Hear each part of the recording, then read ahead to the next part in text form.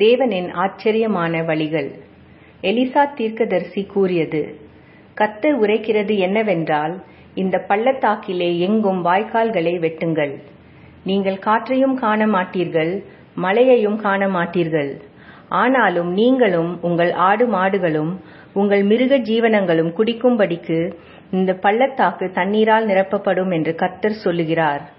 இது கர்த்தரின் பார்வைக்கு அற்ப காரியம் மோவாபியரையும் உங்கள் கையிலே ஒப்புக்கொடுப்பார். ரெண்டு ராஜாக்கள் மூன்றாம் அதிகாரம் பதினாறு முதல் பதினெட்டு வரை. முழு சம்பவத்தை அறிய ரெண்டு ராஜாக்கள் மூன்றை படிக்கவும். இந்த வசனத்திற்கான சிறு பின்னணி இதோ. இஸ்ரவேல் யூதா மற்றும் ஏதோம் நாட்டு மன்னர்கள் மூவரும் மோவாபின் ராஜாவை எதிர்த்து போர் புரிய போகின்றனர். இந்த மூன்று படையினரும் தங்களது மிருக ஜீவனங்களுடன் ஏழு நாள் பிரயாணமாக வனாந்திரத்தை சுற்றி வருகையில் அவர்களுக்கு தண்ணீர் இல்லாத ஒரு இக்கட்டான சூழ்நிலை ஏற்படுகிறது. மனசோர்வடைந்து அவர்கள் எலிசாவிடம் திரும்பினார்கள். அப்பொழுது தேவன் இடைப்பட்டு விவரிக்க முடியாத இந்த தீர்வை தருகிறார். மறுநாளே தண்ணீர் அடித்துக்கொண்டு வந்து பூமியை நிரப்பினது மட்டுமன்றி தேவனுடைய ஜனத்திற்கு வெற்றியை அளிக்கக்கூடிய கருவியாகவும் இருந்தது.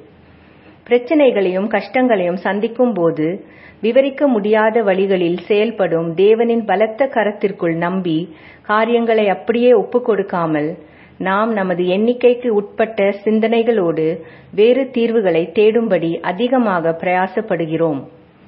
தேவனின் செயல்பாடுகளாலும் அவரது மீட்பின் செய்திகளாலும் வேதம் நிரம்பியுள்ளது.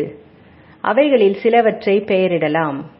அவரால் கடலை பிளக்க முடியும் வானத்திலிருந்து மன்னாவை பொழியச் செய்ய முடியும் சூரியன் உதிப்பதை தடுக்க முடியும் அக்னி சூளையிலிருந்து காப்பாற்ற முடியும் பசியாயிருக்கும் சிங்கங்களின் வாயை அடைக்க முடியும் கழுதையை பேச வைக்க முடியும் சீரும் புயலை அடக்க முடியும் மரித்தோரை உயிரோடு எழுப்பி எப்படிப்பட்ட வியாதிகளையும் குணமாக்க முடியும்? அதே தேவன் இன்றும் செயல்பட்டு கொண்டிருக்கிறார். என் நினைவுகள் உங்கள் நினைவுகள் அல்ல.